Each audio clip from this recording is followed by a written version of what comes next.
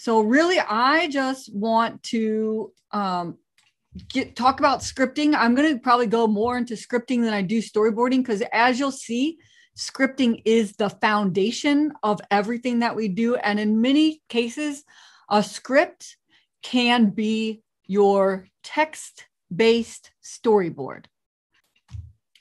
So, when I was talking about scripting being your foundation, if you were to look at this pyramid, you'd see, of course, um, it starts with your analysis, right? Like, is training needed? What kind? And then say you already determined, yes, training is needed.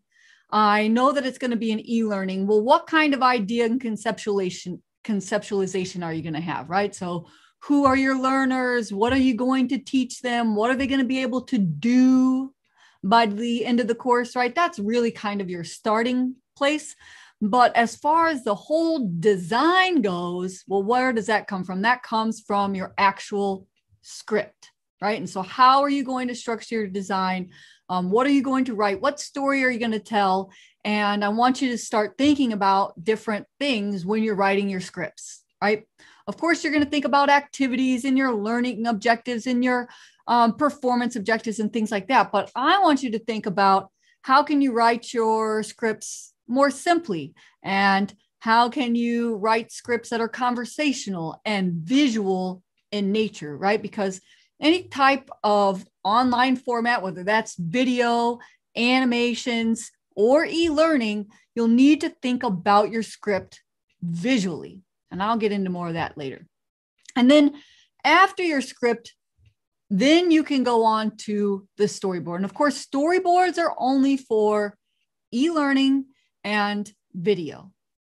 And in many cases, if you are both the designer and the developer for the for the e-learning or the animation, then you could skip a storyboard. But it is important to know how to storyboard for any type of instructional design role where you are not the developer, right? And also, it is an important skill to have as an instructional designer, right?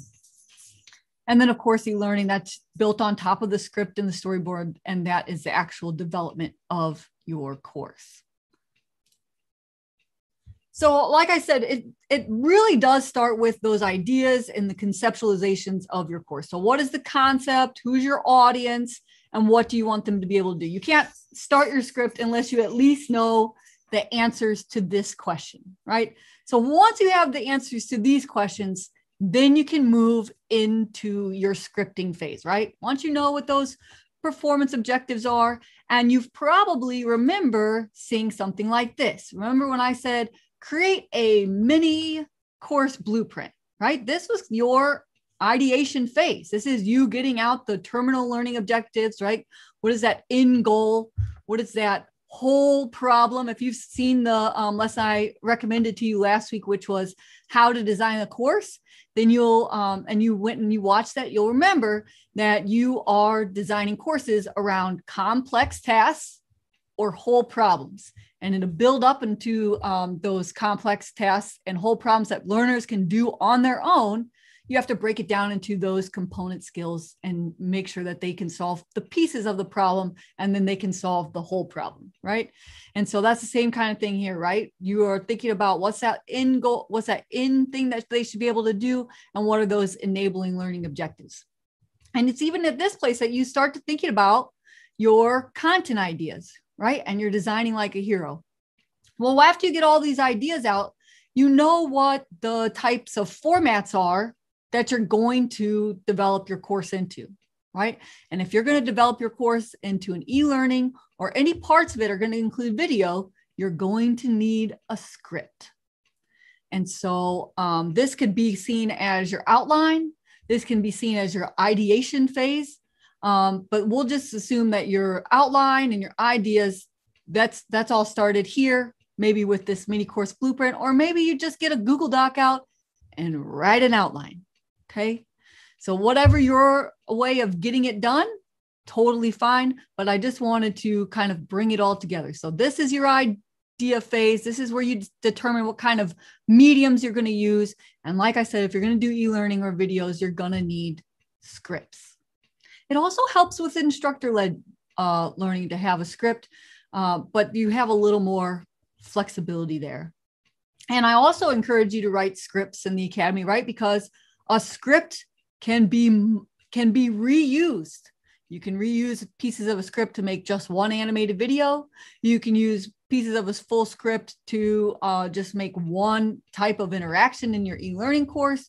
You can use your script to uh, develop a RISE course and uh, and all those other tiny little things um, that you want to fill up your portfolio with to demonstrate your skills. That's why um, another reason why I encourage you at the very beginning and do it messy to write a full script. All right, so since scripts are the foundation of your development of e-learning, we'll just stick with that and I'll just know that I'm also talking about videos, okay?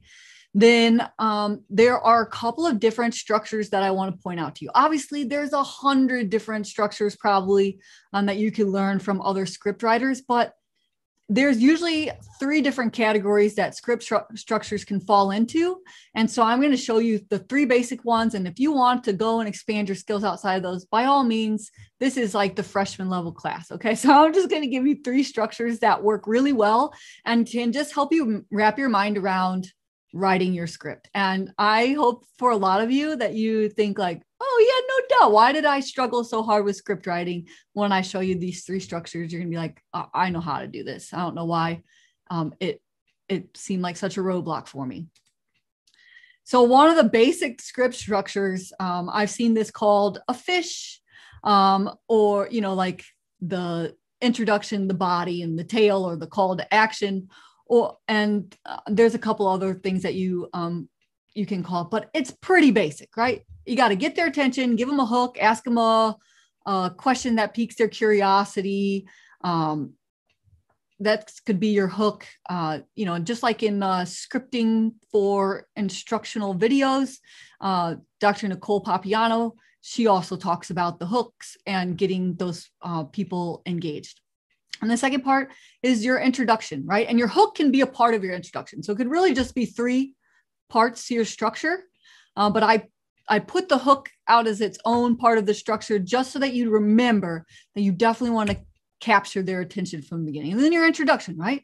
Just give those viewers or those learners a little bit of a lead and um, into why the topic you're covering is so important to them right? And so you tease a little bit about what you're covering, but mostly it's the what's in it for them that you're giving in that introduction. And then the body, right? And that's the main section of your script. And especially in e learning and videos, if you can make the body of your script a story, all the better, right? Because it's better to illustrate, animate, and visualize a story than it is a series of bullet points about that are factual things, right? It's better to to see a story. It's better to um, visualize a story. And then the last thing is a call to action. Now, this formula may look familiar to you if, you're if all if you're at all familiar with um, marketing, because this is also how people write marketing scripts for videos and things like that. Same kind of thing. Same kind of thing for learning scripts. Now, your call to action will probably be different. Maybe it might be um, go to the next lesson. Or if you are um, doing a scenario script, right, you got a hook, an introduction, you tell a story, then your next call to action would be how did Bobby's uh, decisions make you feel? If you were Bobby, what would you have done different? And you give them options, right? So your call to action in an e-learning course at the end of your script might be different than what it is in marketing videos, obviously, right? But you can see how if you can just think about it simply, hook, intro, story, what are they going to do next? Are they going to just are they just going to go to the next slide and answer some questions? Are they just going to go to the next lesson? Do you want them to download a resource after that video? Do you want them to um, answer some questions in their journal? What is it that you want them to do? That's the end of your script. Now, I also want to make it clear that you can have several small scripts in one e-learning course, right? Because maybe you have, uh, you know, uh, intro uh, a script just for the introduction of your course. Maybe have another script for uh, a main uh, scenario that comes after that in your course. And then you have another call to action. Uh, maybe you have another uh, scenario, or may- maybe you have another script that do, um, covers another topic or another part of your lesson. And then that's another smaller script. But you can, you see what I say? I'm saying here, right? It's the structure. You'd still follow the same structure for each of those tiny scripts that are part of your larger script. So let's give an example. Um, I apologize that it is a little small to read, so I will um, go ahead and show this to you. So this is just kind of some ideas right here on the page. This is the start of a script, right? And um, it as you can see, it'll ha- it has a clear intro, a story, and a call to action. And so here's the example. So this example is about that DISC profile, that personality test that so many companies make you take. And so here's the introduction. DISC is a tool we use to discuss our colleagues' behavioral differences. Each letter DISC represents a personality type and knowing who's what will make us work better together. And so you, this is just kind of the brainstorming part of this script and you can finesse it later, but I just want to show you how easy it is to write in this structure. And then here's the story. Here's Doug. He just answered a DISC questionnaire and got the result of being a D. D stands for dominance, and Doug agrees that he matches the D behaviors of accepting challenges, trying to see the big picture, and maybe being a bit blunt sometimes. His colleague Inez took the DISC test and found out that she's more of an I type. Inez knew that she values influence, relationships, and openness, but she didn't know that DISC could put a label on it. Interesting. As more and more colleagues answer the questions, they see how their team is distributed across the DISC. It becomes very clear that we're all different, think differently, and understand the same messages in very different ways. It's actually fun to use the categories and letters to become more self aware.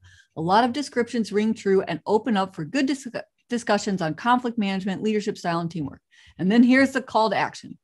Now that you know about the basic purpose of DISC, you're ready to go to the next chapter of this training where we dive into each of the DISC letters. See, this is one script for just the opening of a DISC training. And you see how we use this and then a call to action, right? See you in the next lesson. Go to the next lesson, right? You can just use a next a, a simple call to action. You have a framework, you just plug it in, smooth it out, and I'm going to give you a couple of tips for your script writing to help make sure that this that your little script flows well. So um, you're just going to swiftly introduce the overall context of the, the course or the video or whatever it is that you're writing a script for. Dive into a story that exemplifies your introduction, and then you round it off with, with a wrap up and concrete call to action, whatever that is for your learner's next step. There is a, another format, and it's called the before and after or the better world scripts. And so sometimes it is easier to get your message across if you contrast um, what it is or what it is that your course offers, right? Um, with something that people already know and understand. So comparing what you have to what already exists is the foundation of this better world script. And so it actually has two components right? You paint a picture of a current situation that is unpleasant or inconvenient. Hence the reason I show like this, like, you know, polluted industry factory. We'll just say it's like dirty energy, right? Um, and and then of course you propose whatever it is that is the solution of a better world. So this before and after dynamic is very common. Um, it might even be a cliche that you've probably seen many different places, including commercials or ads or whatever, but it works for internal training as well. So let's look at an example for this one also. So just so you know, um, OKRs are objectives and key results, right? So here's the sad world of the of the script. In our beloved company, we've grown a lot over the past year. Growth is amazing, but growth comes with increasing complexity. We have seen projects go slower than they used to. People express a confusion about which way to run. And sadly, We've seen a record high number of good colleagues leaving us the past year. We want to keep growing, but we need to do it the right way. And then comes the better world. Therefore, we're introducing a new framework for a company called OKRs, right? You'd probably actually spell it out objectives and key results. OKRs is to be our new and improved way to keep projects on track, create a clear sense of direction for all teams, and make sure we build a sound company going forward. And then we say OKRs are developed by Google and tested by thousands of startups. It's the perfect fit for our company's size and stage. Over the next couple of weeks, we're going to host workshops on OKRs, and we really hope you'll bring a lot of energy and positivity to, to these sessions. See you there. See, so there's still a call to action at the end. And really, this script is just kind of to tease people or maybe part of your rollout um, before you start the series of workshops of training around these um, objectives and key results that are being rolled out into your company and how they're going to use them and all those kinds of things. But here you can see um, another script structure that you could use. And I've given you an example of how it can be used. Another um, example um, that I've used before and after is like when a company goes from one software platform to another. Like I remember in the recruiting and staffing um, company that I worked for, I created a video of what their applicant tracking system used to be, why it didn't work, and all, all those frustrations that they have to a better world. We're moving to Bullhorn, which will enable us to blah, blah, blah, blah, blah, blah, blah, right? Same kind of thing. Um, sad world to a better world.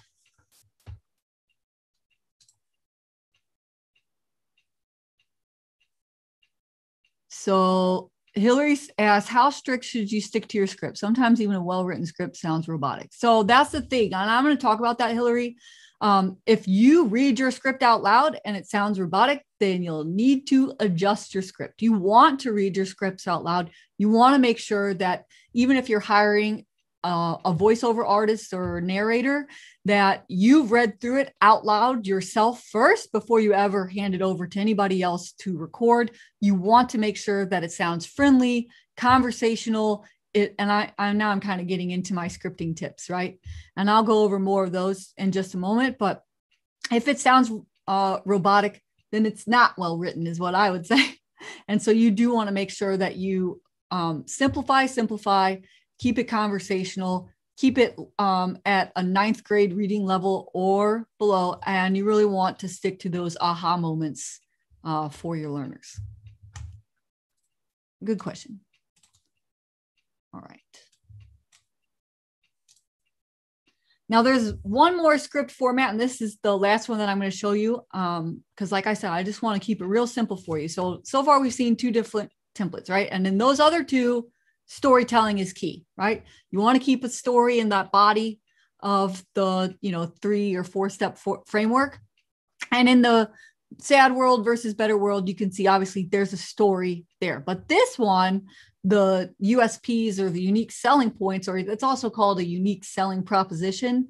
Um, for this one, it's more about, it's less about story and more about concrete facts, information, maybe uh, if you're teaching um, for teaching salespeople about features and benefits, like the benefits of products, maybe you would use this format for your script, right?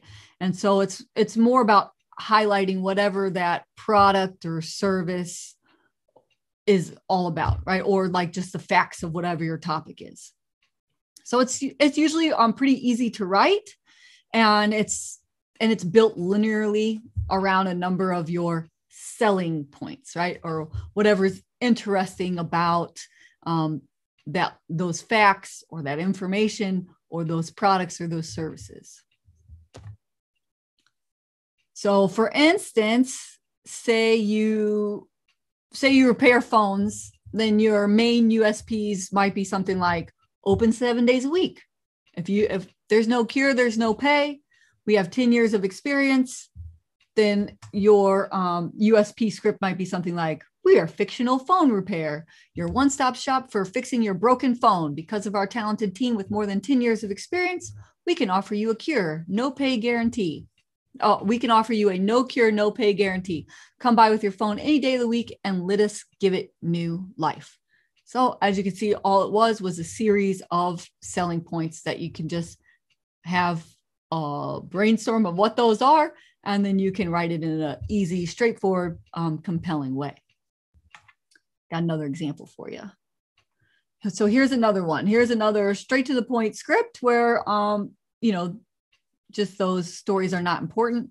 And so you'll see that I, you can take a screenshot because maybe it's a lot for um, me to read to you, but so it's just a uh, bullets. Acme Corp just released a new pipeline management system for the salespeople, and these are some of the highlights of the product. And then here are some of the highlights. And then you see at the end, even though that it's just a list of uh, unique selling points, um, it says jump into your new dashboard and take a look around today. So you tell them where it's located and they can go look around and you've sold them on it. So sometimes um, we do create uh, videos just to inform people of where things are located and um, how to find them. It it happens, and so this could be an easy way for you to just say, "Hey, we have you know a new platform that does this, this, this, and this." Log in your dashboard and take a look. All right, so let me get into those scripting tips that I have mentioned and I just kind of covered a little bit when I was answering Hillary's question. And my first one is simplify, simplify, simplify, right? You want to keep your content as simple as possible. So feel free to write like you talk and cut out all of the fluff, all of those filler words, all of the you know um, college words as they call them or the 50 cent words you want to cut that stuff out um, because it's not hard to ramble on about all the facts and information but as you know information is not instruction and also if you were to do that it's boring right? We're not looking to bore our learners we're looking to engage them and help them learn and so it is hard to boil something complex down to something simple. And so, really, um, part of your job when writing your script is to find the key messages your learner will connect with and understand. So you you might um, it's definitely important to know who your learners are, where they where they are, what they've been introduced to, what they're familiar familiar with, because many of your times your learners might be encountering the information that you're putting in front of them for the first time without any prior knowledge, right? And so in that case, simplicity is key. And as you know, as you guys know firsthand, especially right now, learning something new is challenging. And so don't make the content more complex than it needs to be. You want to make it easily digestible. So I have another example for you. Right here is another script. So if uh, here's my attention grabber, right? Don't panic. We've worked out how to stop metal spills. There's our attention grabber. Now, this is more kind of like uh, an explainer video, okay? So DISA's new melt overflow cover is a simple yet effective way to get more uptime and better and a better bottom line. There's the introductory benefit. Bolt the overflow cover straight onto the sides of your Dismatic molding conveyor, and it will keep any molten metal where it belongs, safely on top of the mold. Is how to install. See how simple we, we've made this when I'm sure that this could be a very complicated thing, you know, if you were to get all, very detailed exactly about how this thing works. Then product benefits. No spills means no more iron coated thrust bars, no damaged equipment, and no more stopping to clean up the mess. All from the simple, low cost accessory. Adding a melt overflow cover to your Dismatic molding line is done in a matter of hours, not days. For more information, visit and there's your call to action. So I thought this was a great example of keeping it simple, right? You want to have enough information to be interesting and educational. And that's the um, balance you want to strike. So it's easy to understand, but it has enough information to be interesting and educational. That's where you guys want to live in your scripts. No matter um, how far down into the content that you're getting, you still want to simplify each piece of your content. And as you can see, um, what kind of uh, format is this one? Do you guys, I've given you three different structures. What do you think this one is?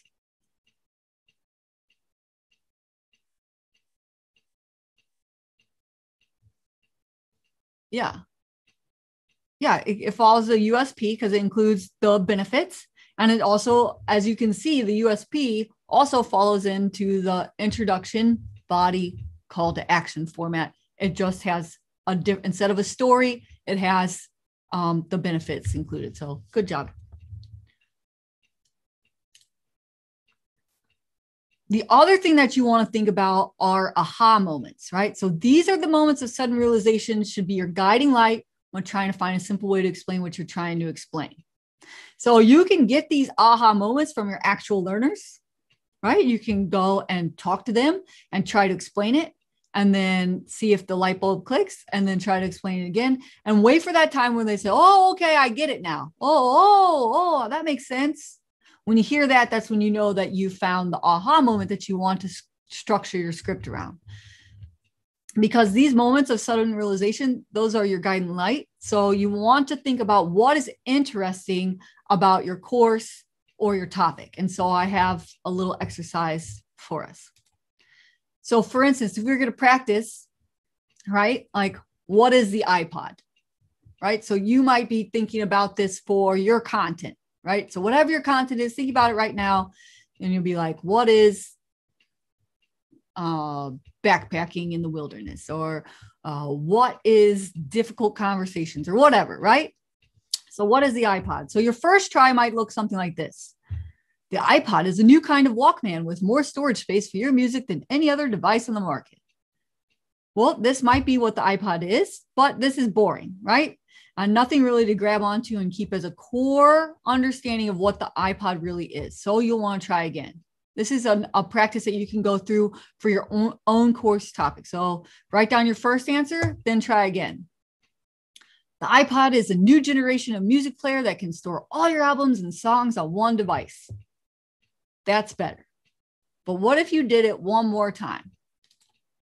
The iPod is a thousand songs in your pocket. Now, this is the kind of level of aha moment that you really want to go to because this can bring aha moments to your learners, right? That's when they'll be like, ah, I know, I get it now. That's so cool, right? Have you heard about this new thing on iPod? I mean, obviously, it's not new, right?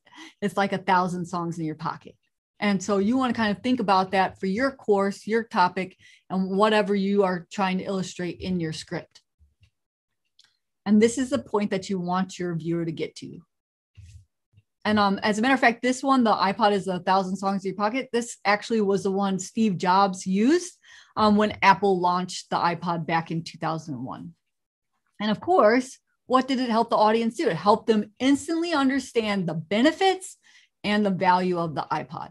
So, especially in those introductions uh, to your e learning, you want them to instantly understand what's in it for them, or what is this course about or why do they need to learn this and that kind of thing. And so if you can get it to the ipod is a thousand songs in your pocket type of aha moment then you are creating a very strong script. So um and many times you might run into especially as you know instructional designers you may run into stakeholders who or subject matter experts who may worry that that this is not explaining it well enough right? That you're not getting all the details by saying the ipod is a thousand songs in your pocket. It'd be like because you don't say what the machine is you don't say how the machine works or um, how they're going to put it in their ears or any of that kind of stuff right? Um, but instead you want to save those details for later. You want to include them later. And so really this is more about you want to get your aha moment um, for that introductory script. You want to grab attention first, and then you move on to that heavier information later after you've gotten their buy in.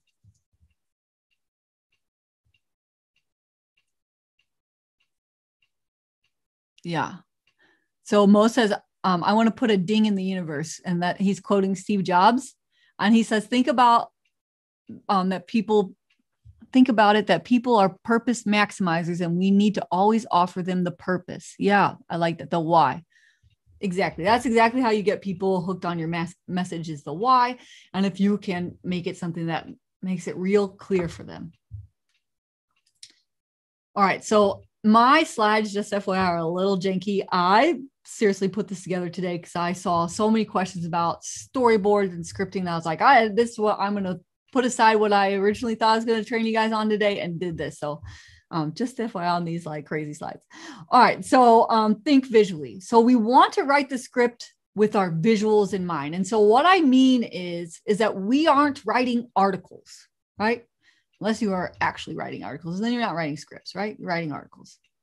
Where you are writing a video or an e-learning script, and so you want to think about how the text will suggest your visualizations.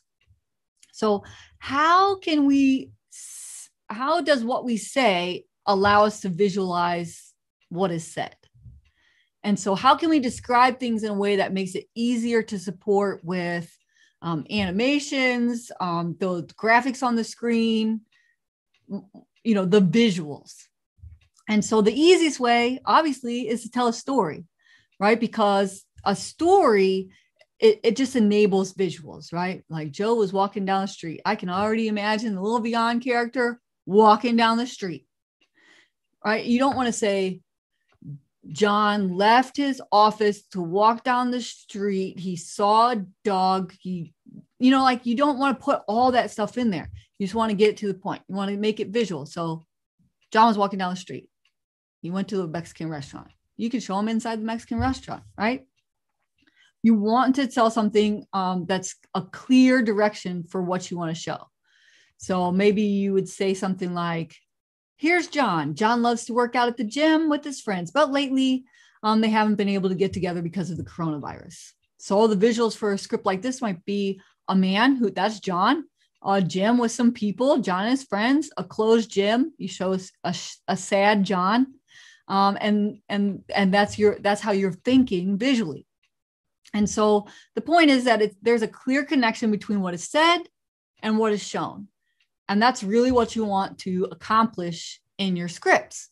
But it's not always easy, right? Especially if there's no story. So if you don't tell a story, then you may have some difficulties in visualizing those generic sentences. Obviously, it's possible to do, um, like some conceptual scenes. You could use text, symbols, and icons. But really, well, I just want to encourage you not to write out everything. Um, Instead, you want to write your script in a way that it suggests a certain visual universe around it. So, for example, let's see. Um, if you're too detailed in your um, in your script, you overtake the visual side. So here's an example. So after work, John and his friends eat at the local Mexican diner that is pretty easy. You can just I'm I'm always thinking in Vyond visuals, um, just because that's the animation program I've used forever. And so I could imagine like John sitting in the restaurant with his with his friends at a it's a Mexican diner, right? And you can show that through the backgrounds and the scenes, and you could show them eating and all that kind of stuff. However, if you do after work, John and his friends leave the office and walk down the street to eat at the local Mexican restaurant. Well, now you have to show all those things, right? And you've extended um, what you're showing on the screen. When if you write simply and you think about the visuals, then it's much better to just write John and his friends eat a local Mexican dinner after work.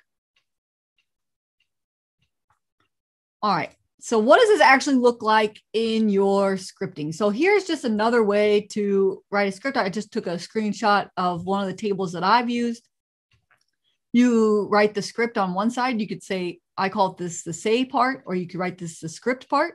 And then what are you going to show? And then because usually we are also writing scripts for e learning, maybe you have them do something in the course, right? So say, show, and do. And so I might say, Welcome to the script template. And then what am I going to show? Welcome screen with text on colored background. This is your tool to create e learning video scripts. What am I going to show? Maybe I'd show a split screen to show e-learning on one side and animations on the other side. Download this template to get started. So then maybe I'd show a screen recording showing how to download the template, right? And so Eileen, you're funny. Um, Eileen knows where I uh, we're like neighbors, and she said uh, Los Bravos on Trickum. That is a very uh, I love that restaurant. They've got great ceviche, Eileen. And then of course then like the do right? So then i'll actually need to um, attach the template to the resources in the course. And so this is what i'd call a text storyboard or your script right? Either way whatever you want to call it this is what that looks like or could look like. And i'm about to show you a bunch of different storyboards and what they can look like. And then last, lastly, I, my last tip for you, and I've already said it, but um, it's just to keep your your um, language casual like you're talking to a friend, right? You want to use second person point of view um, and keep your language below ninth grade reading level. That's so that it's clear. That makes that forces you to be really clear with your language, and also it's inviting for your learners to hear a conversational tone, right? So like you're talking to them.